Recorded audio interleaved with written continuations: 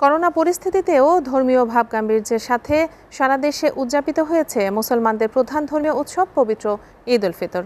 সরকারি নির্দেশনায় ঈদগাহ ও খোলা জায়গার পরিবর্তে মসজিদে মসজিদে অনুষ্ঠিত হয় ঈদ জামাত।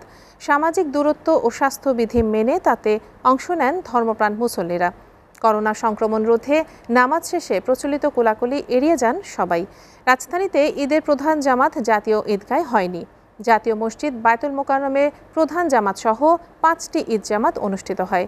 নামাজ শেষে করোনা থেকে মুক্তির জন্য বিশেষ মোনাজাত করা হয়। তাইফুর রহমান তুহিন জানাচ্ছেন বিস্তারিত। এক মাস সিয়াম সাধনার পর এলো খুশির ঈদ। প্রতি বছর ব্যাপক উৎসাহ উদ্দীপনায় ধর্মপ্রাণ মুসলমানরা প্রধান এই উৎসব ঈদুল ফিতর উদযাপন করেন। কিন্তু করোনা পরিস্থিতিতে এবার নানা বিধিনিষেধের মধ্য দিয়ে সারা দেশে ধর্মীয় ভাব গাম্ভীর্য বজায় রেখেই উদযাপিত হচ্ছে, তবে তা অনেকটা নিষ্প্রাণ। করোনা সংক্রমণের আশঙ্কায় এবার ঈদগাহ সহ খোলা জায়গায় ঈদের নামাজ আদায়ে বিধিনিষেধ জারি করা হয়।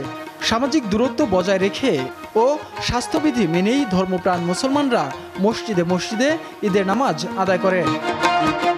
রাজধানীতে জাতীয় ঈদগার পরিবর্তে এবার ঈদের প্রধান জামাত অনুষ্ঠিত হয় জাতীয় মসজিদ বাইতুল মোকাররমে।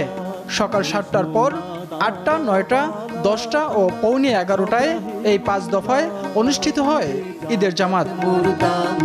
ঈদ জামাতে খুতবা ও বয়ানে করোনা পরিস্থিতিতে মুসলমানদের করণীয় তুলে ধরা হয়।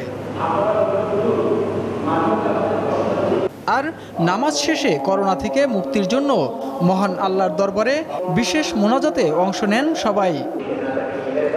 নামাজ শেষে ধর্মপ্রাণ মুসলমানরা জানান করোনার দুঃসময় কাটিয়ে দেশ ও গোটা বিশ্ব শিগগিরই ফিরবে আবার সুদিনে। একসাথে ঈদের জামাত আদায় করতে পারছে এই জন্য আল্লাহর কাছে লাখো কোটি শুক্রিয়া। আল্লাহর কাছে প্রার্থনা করেছি যে এই করোনা ভাইরাস থেকে যেন এই পৃথিবীবাসীকে মুক্ত করে দেন। আল্লাহর কাছে দোয়া করছি প্রার্থনা করছি আল্লাহ তুমি সমস্ত আজাবকে উঠে নিয়ে যাও। সমস্ত দুনিয়ার এই করোনা ভাইরাস থেকে সমস্ত মানুষকে তুমি হেফাজত করো। স্বাস্থ্য সেবা দিতে গিয়া মৃত্যুবরণ করেছেন তাদের রুয়ের মাগফরাত কামনা করে দোয়া করলাম। নামাজ শেষে এবার হাত মেলানো ও কোলাকুলি এড়িয়ে চলেন মুসল্লিরা। এতে অনেকেই কষ্ট নিয়ে ঘরে ফিরেন।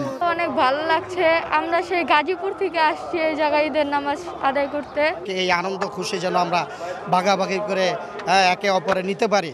হ্যাঁ, আমরা সেই দোয়াই করি আল্লাহ পাকের কাছে। আগের মতো যেরকম যে আমরা নামাজ পড়ার পরে কোলাকুলি হ্যান্ডশেক করা ওগুলা থেকে আসলে এবার একটু বিরত থাকতে পারে আসলে খারাপ লাগতেছে। ইনশাআল্লাহ সুস্থ থাকব। আগামী বছর ইনশাআল্লাহ যদি বেঁচে থাকি সবাই আবার ঈদ মানাবো। কোলাগুলি হবেই। জাতীয় মসজিদ বাইতুল মোকাররমে ঈদের নামাজে এবার রাষ্ট্রীয় গুরুত্বপূর্ণ ব্যক্তি ও রাজনৈতিক নেতাদের কাউকে দেখা যায়নি। Taifur Rahman Tuhin, S A TV, Dhaka. প্রিয় দর্শক, জাতীয় এবং আন্তর্জাতিক সবশেষ সংবাদ জানতে ভিজিট করুন এসএটিভির website W W W dot SATV dot TV. বিনোদনমূলক অনুষ্ঠান উপভোগ করতে সাবস্ক্রাইব করুন আমাদের YouTube channel YouTube dot com slash SATV বিডিতে যেখানে নিয়মিত কমেন্টস করে জানাতে পারেন আপনাদের মূল্যবান মতামত। এছাড়া এসএটিভির বাছাইকৃত সংবাদ দেখতে YouTube dot com slash SATV নিউজে সাবস্ক্রাইব করে বেল আইকনটিতে ক্লিক করে সাথেই থাকুন। প্রতি মুহূর্তে সর্বশেষ তথ্য ও বিনোদন পেতে লাইক দিয়ে যুক্ত থাকুন আমাদের Facebook page Facebook dot com slash SATV বিডিতে SATV সাথে আছি সবসময়।